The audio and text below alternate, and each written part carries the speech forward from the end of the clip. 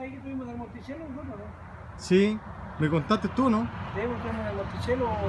Bueno, nos estamos todos los casinos. Estamos, cono- estamos conociendo acá la nueva mansión de nuestro ídolo de la música ranchera, Renato Pérez.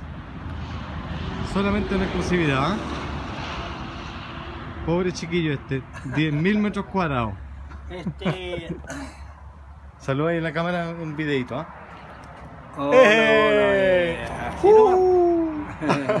Oye, este.